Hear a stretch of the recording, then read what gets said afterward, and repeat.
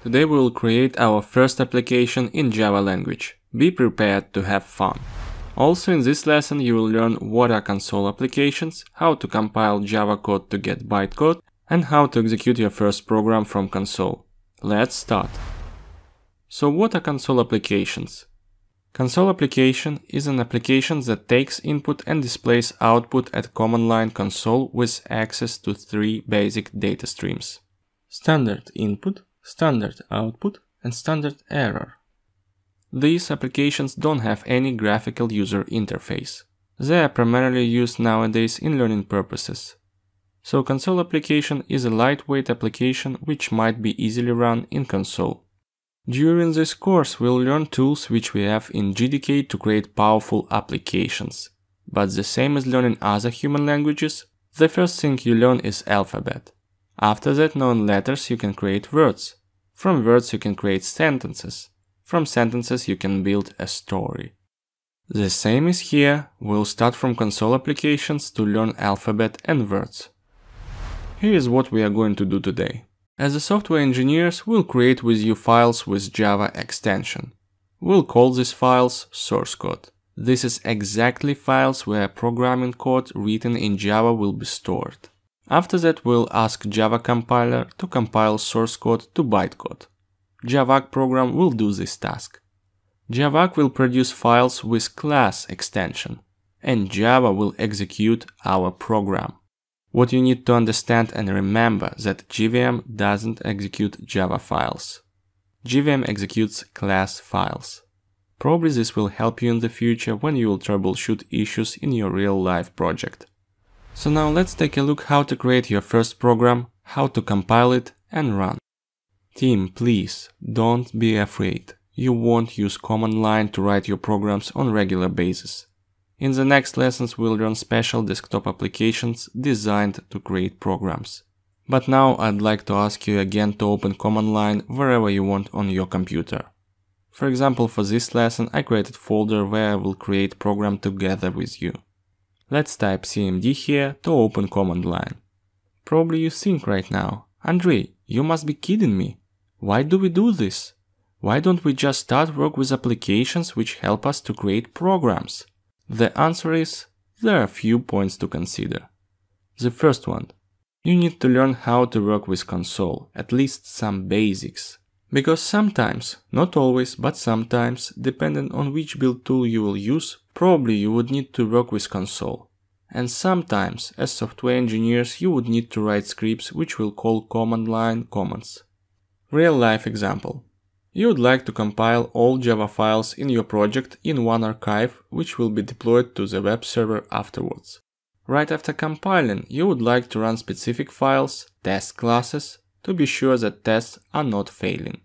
In case tests are succeed, you finish your build process. In case there are failures in the test, you don't proceed with your build. That is one of the examples when knowledge of command line commands might come in handy. The second point to consider Guys, you are just started learning Java.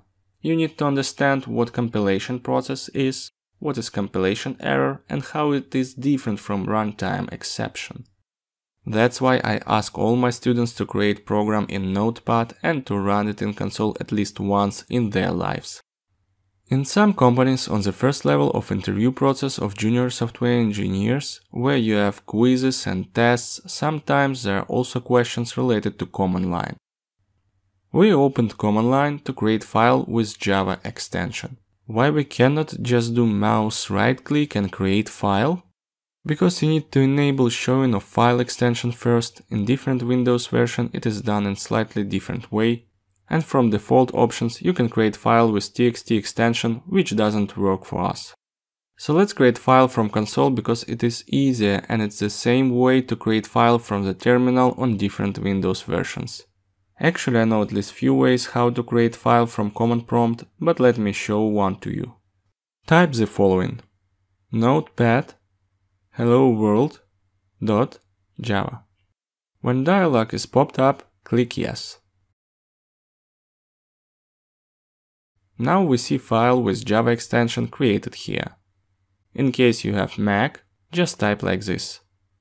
touch hello world java.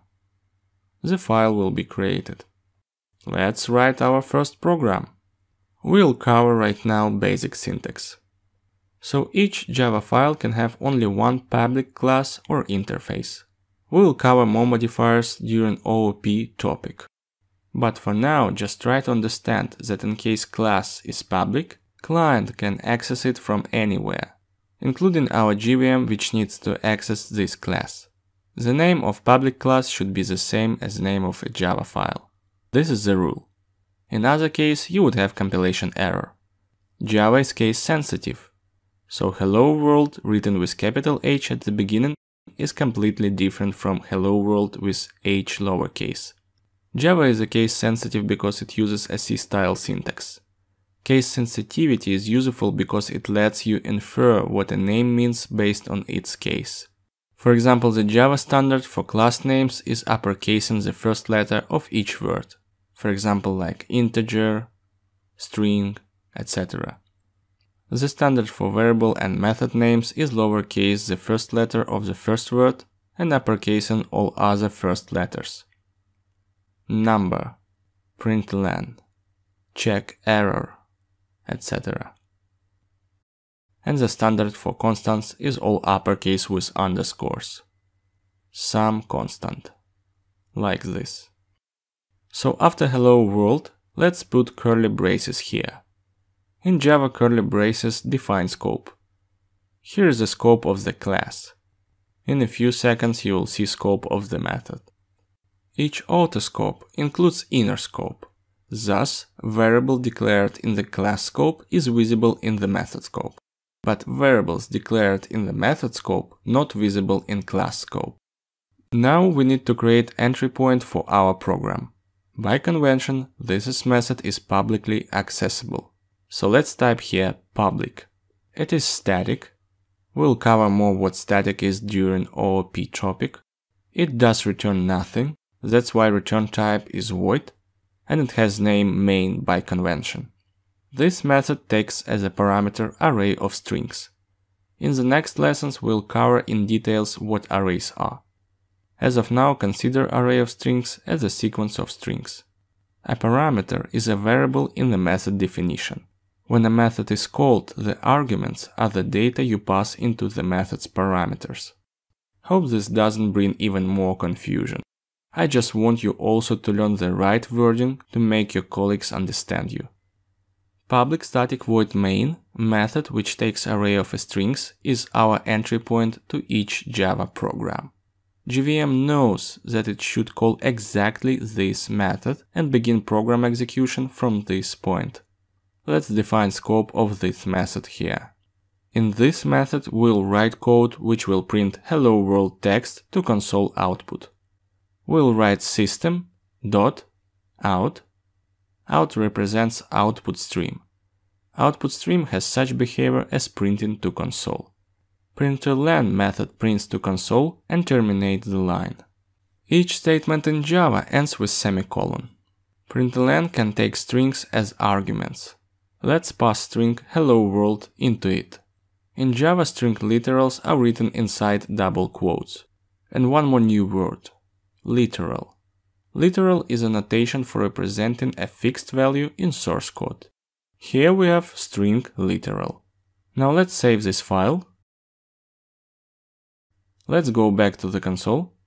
And now let's compile our program. javac hello world.java. If you don't see any messages, that means compilation was successful and you can notice that new file is appeared in our folder. This file has the same name as our Java file, but has different extension. This file contains bytecode for our Java virtual machine. Now let's execute bytecode on our JVM. Let's type java hello world and press enter. In this case you don't need specify extension for the file since Java expects only class files. And you see output here. Hello world. Congratulations, you have just written your first console application. What are common mistakes? You can see compilation error after calling javac. And you can see runtime errors. Let me reproduce it with you. let's pretend you name your public class incorrectly. Not the same as Java file name. Let's put capital D at the end. And also, let's pretend you did a typo in main method name. Let's save the file. Let's call javac now. We see compilation error, so code is not compiled to bytecode. Always read these error messages. They can help you to fix issues. For example, like here. Public class hello world should be declared in the file with the same name. We'll just rename our public class. Let's compile it one more time, but not forget to save the file before compilation process. So now everything is okay and we don't see any compilation errors. And by the way, to call commands which I just used, I use up arrow. Let's run it again. And here we have runtime exception. What does it mean? Code is compiled, but error happened during the program execution. JVM tried to find main method, but couldn't. Hope this information will help you to troubleshoot issues in case you will have ones. Let's recap one more time what we have learned today. Now you know what console applications are. You understand basic Java syntax, you learned how to create Hello World application in Java. Also you saw what compilation errors and runtimes errors are. You can compile and execute your programs from the console. And here's your homework. Try to repeat everything what we did during the lesson by yourself. Also, I'd like you to write bat or shell file which will compile your source code and will start your Java application.